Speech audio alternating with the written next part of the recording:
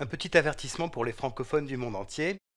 Dans certains pays, ce nombre-là se dit 75, mais dans d'autres pays, on le dit 75.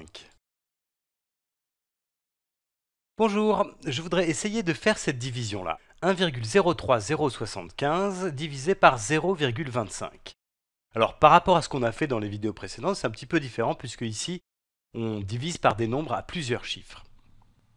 Ici, le diviseur, c'est 0,25 et c'est un nombre décimal. Et c'est pas très pratique de diviser par un nombre décimal. Donc ce que je vais faire, en fait, c'est multiplier ce nombre-là autant de fois par 10 jusqu'à ce que ça devienne un nombre entier.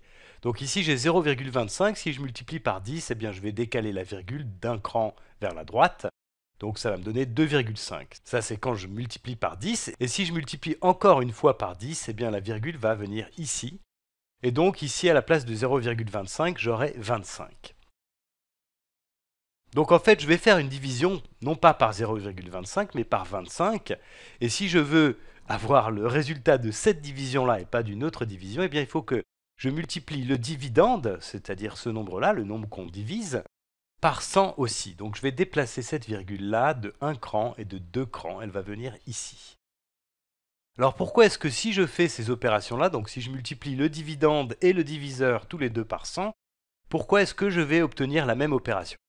Eh bien en fait c'est parce que cette opération-là, 1,03075 divisé par 0,25, en fait on peut l'avoir comme une fraction, c'est 1,03075 divisé donc sur 0,25. Et tu vois que là, j'ai multiplié le diviseur par 100, donc j'ai en fait exprimé le, dénominateur pardon, de ma fraction comme ceci, 0,25 fois 100. Et du coup, pour avoir une fraction égale à 1,03075 sur 0,25, eh bien, il faut que je multiplie le numérateur par 100 aussi. Hein. Donc voilà, c'est ce que je fais.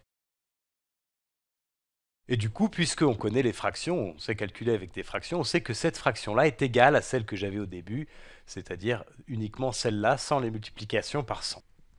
Donc finalement, cette opération-là, 1,03075 divisé par 0,25, eh bien c'est exactement la même que celle que j'obtiens en déplaçant les virgules, donc en multipliant par 100 les deux nombres. Donc c'est 103,075 divisé par 25. Du coup, ce que je vais faire, c'est poser cette opération-là, qui est un petit peu plus simple à calculer quand même. Donc 103,075 divisé par 25. Alors là, je vais commencer par regarder ces trois chiffres-là, 103, et je vais me demander combien de fois dans 103 je peux mettre 25. Eh bien, je sais que 25 fois 4, ça fait 100. Donc je peux mettre 4 fois 25 dans 100. Alors 4 fois 25, ça fait 100, je viens de le dire. Donc ici, je vais enlever 100. Alors 103 moins 100, ça fait 3. Et maintenant, ce que je peux faire, c'est déjà placer la virgule, hein, puisque j'arrive ici au chiffre des, unités. Hein. Donc je vais placer une virgule ici. Voilà.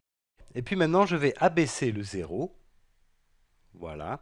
Et du coup, je vais me demander combien de fois je peux mettre 25 dans 30. Une fois 25, ça fait 25. Donc je peux mettre qu'une seule fois 25 dans 30. Donc je me retrouve avec cette opération-là. 30 moins 25. 30 moins 25, ça fait 5. Ensuite, j'abaisse ce 7-là. J'abaisse ce 7. Et j'ai maintenant 57. Et dans 57, je peux mettre 2 fois 25, parce que 2 fois 25, ça fait 50. 50, donc maintenant, j'ai cette soustraction-là, 57 moins 50, qui me donne 7. Et je vais continuer en abaissant le 5 qui est là, qui est le chiffre des millièmes. Donc je le mets ici. Et j'ai maintenant 75.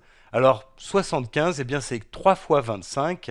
Donc là, je vais mettre un 3. 3 fois 25, ça fait 75 et j'ai terminé puisque 75 moins 75 ça fait 0.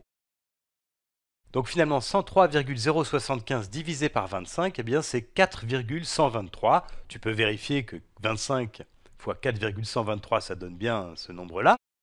Et d'après ce qu'on a dit tout à l'heure, on peut en conclure que 1,03075 divisé par 0,25 divisé par 0,25, eh bien c'est égal aussi à 4,123.